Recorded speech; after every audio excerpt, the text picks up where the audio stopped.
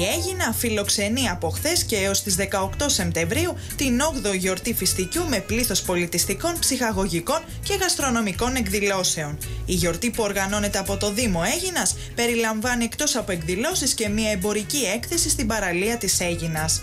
Οι εκδηλώσεις περιλαμβάνουν μεταξύ άλλων διαλέξεις, ενδιαφέρουσες οικαστικές εκθέσεις, αφιερώματα στο Γιάννη Μόραλη, στο Λαογραφικό και το Αρχαιολογικό Μουσείο, καθώς και τον πύργο Μαρκέλου. Ξενάγηση στην Αφέα, προβολή ντοκιμαντέρ, δρόμενα συναυλίες και ανάγνωση παραμυθιών για παιδιά.